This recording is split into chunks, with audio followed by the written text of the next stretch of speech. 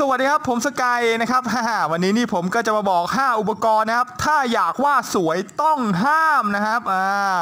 จริงๆมันก็ใช้ได้นะครับ เพียงแต่ว่ามันจะทำให้เราวาดสวยได้เก่งค่อนข้างจะเชื่องช้านะครับ ก็คล้ายๆกับเต่าเลยนะครับ ก็เอาละครับ เกินพูดมากไป เดี๋ยวก็จะมีแต่น้ำนะครับเบืองน้ำลายเปล่าๆนะครับ เรามาเริ่มกันเลยดีกว่า อุปกรณ์ชิ้นแรกเลยก็คือ ไม้บรรทัดนั่นเองนะครับอ่ามันเป็นอุปกรณ์ที่อ่าต้องห้ามใช้เลยนะครับ เวลาฝึกเนี่ยถ้าหากอยากจะวาดสวยเร็วๆนะครับเพราะว่าการใช้ไม้บรรทัดเนี่ยมันจะทำให้เรานั้นอะขาดความมั่นใจในการลากเส้นนะครับ แล้วเพื่อนๆเนี่ยก็ไม่ต้องกังวลไปเลยนะครับว่าถ้าถ้าหากเราลากเส้นไม่ตรงเนี่ยมันจะไม่เก่งนะครับ เพราะว่าการลากเส้นที่ดีจริงๆเนี่ยคือการลากเส้นลื่นปื๊ดอย่างมีความมั่นใจนะครับ ถึงแม้ว่ามันจริง ๆ มันจะบิดบิดเบี้ยวเบี้ยวบ้างก็ตามนะครับ ก็คือว่าเออเส้นมันจะไม่แข็งทื่อไร้ซึ่งอารมณ์นะครับ แต่มันจะเป็นเส้นที่อ่อนโยน ยึกยือสวยตามธรรมชาตินั่นเองนะครับอ่า อุปกรณ์อย่างที่ 2 ก็คือกระดาษสมุดหรือกระดาษที่มีราคาค่อนข้างจะแพงนะครับที่มันต้องห้ามเนี่ยเพราะว่ากระดาษสมุดมันมีเส้นบรรทัดนะครับ มันเป็นเส้นที่ปิดกั้นขังวิสัยทัศน์ของเรานะครับ จริงอยู่ที่มันมีเส้นบรรทัดให้เราได้กะระยะได้นะครับ แต่ว่ามันก็กะระยะได้แค่แนวตรงนะครับ ไม่สามารถที่จะเอียงไปเอียงมาได้นะครับ ถ้าเราต้องการว่าสวยให้เร็วนะเป็นเร็วต้องได้ทุกแนวนะครับ ไม่มีการปิดกั้น แล้วเราจะต้องเป็นคนกำหนดเส้นบรรทัดด้วยตัวเองเท่านั้นนะครับอ่าส่วนที่ห้ามใช้กระดาษที่มีราคาาค่อนข้างแพงเนี่ยก็เพราะว่าเราไม่สามารถที่จะฝึกวาดสวยให้ได้ในกระดาษเพียงแค่ 10 หรือ 50 แผ่นเท่านั้นนะครับ แต่ถ้ามี 500 แผ่นเนี่ยก็ยังพอมีความหวังนะครับ พูดง่ายๆก็คือ ถ้าซื้อแพงเนี่ยมันจะกระเป๋าฉีกนะครับ แล้วมันก็จะทำให้ตัวเราเบาหวิวนั่นเองนะครับ ถ้าซื้อถูกก็จะคุ้มกว่านั่นเองนะครับ มันก็เป็นหลักคิดของผมเลยนะครับ ถ้าจะให้ผมแนะกระดาษก็เป็นกระดาษถ่ายเอกสารนะครับ ก็ 70-80 กรัมนะครับ เป็นกระดาษธรรมดาธรรมดาธรรมดาเลย ถ้าคิดจะฝึกระบายสีไม้ไปด้วยนะครับ ผมก็แนะนำว่า 80 แกรมขึ้นไปจะดีกว่านะครับ เพราะว่าถ้าคิดจะระบายสีไม้ขั้นเทพนะครับ ถึงจะเป็นสีไม้นะครับ กระดาษประมาณ 70 แกรมเนี่ย ผมก็เคยระบายแล้วทะลุมาแล้วนะครับ มันขาดเป็นรูเสมอเลยนะครับ ฉะนั้นก็ผมก็เลยไม่แนะนำนะครับ ถ้า7ต่ำกว่า 70 แกรมลงไปนะครับ หรือ 70 แกรมนะครับในการระบายสีไม้เนี่ย ผมก็ไม่แนะนำนะครับควรจะ 80 แกรมขึ้นไปจะดีกว่านะครับอ่า อุปกรณ์ชิ้นที่3นะครับนั่นก็คือยางลบที่เราคุ้นเคยเป็นอย่างดีนั่นเองนะครับ ถ้าหากอยากจะว่าสวยเป็นเร็วนะครับ ต้องห้ามใช้ยางลบในการฝึกโดยเด็ดขาดนะครับอ่า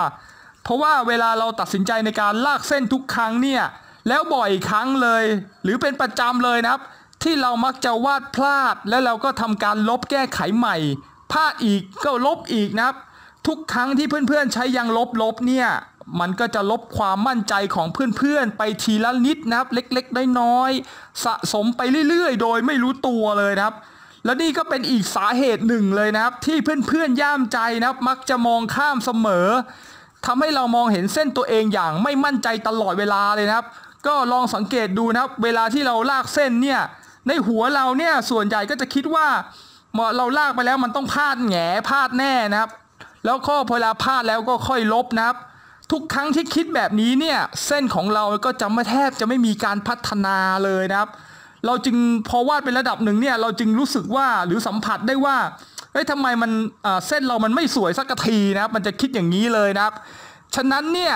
เวลาเราฝึกเนี่ยเราจำเป็นจะต้องใช้ยางลบลบในตอนที่เราตัดเส้นด้วยหมึกดำแบบคร่าวๆแล้วเท่านั้นนะครับ ห้ามใช้ลบขณะที่วาดหรือกำลังลากเส้นโดยเด็ดขาดนะครับอ่า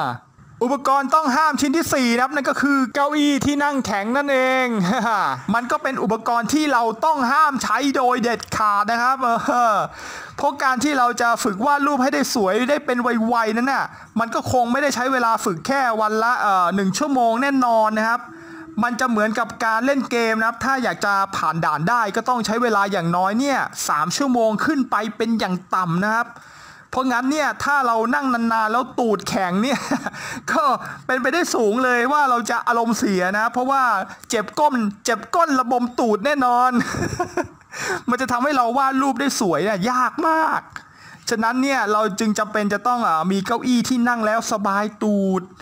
นุ่มนิ่มราวกับนั่งบนก้อนเมฆชั้นดาวดึงนะครับ มันถึงจะทำให้เราวาดรูปได้นาน แล้วก็มีความสุขกายสบายใจเบิกบาน เพราะนุ่มสบายตูดนั่นเองนะครับ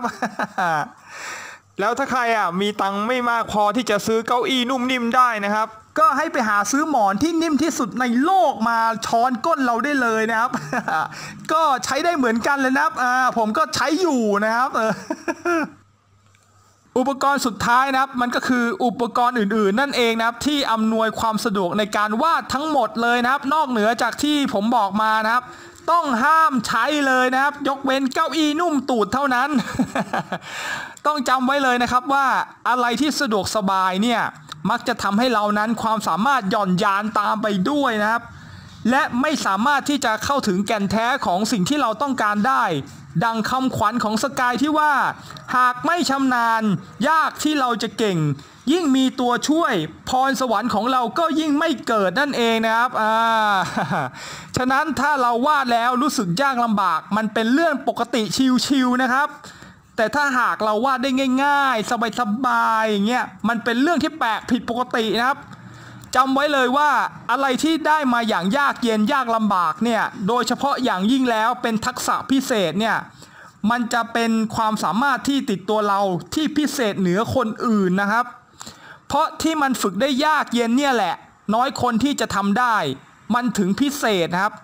มาและมันถึงจะคุ้มค่าที่จะฝึกให้มันเชี่ยวชาญแล้วก็ชำนาญไปเลยนะครับ ไม่เอาแบบแบบว่าสวยมั่งไม่สวยมั่งนะครับ สรุปก็คือ หากเพื่อนๆไม่ใช้อุปกรณ์เหล่านี้ที่ผมกล่าวมานะครับ มาฝึก ถ้าไม่จำเป็นก็หลีกเลี่ยงได้ก็หลีกเลี่ยงนะครับ แค่นี้เพื่อนๆก็จะสามารถวาดสวยได้อย่างมั่นคง และก็รวดเร็วมากขึ้นแน่นอนนะครับทั้งหมดที่ผมพูดมาเนี่ยมันอาจจะฟังดูตลกไร้สาระนะครับ แต่มันเป็นเรื่องจริงที่หลายคนมักมองข้ามอ่าก็คือสิ่งที่คนเรามักจะสะดุดล้มเนี่ยมักจะเป็นแค่ก้อนหินเล็กๆ ที่เรานั้นมองข้ามเสมอนะครับอ่า Make it last forever. Stop in time.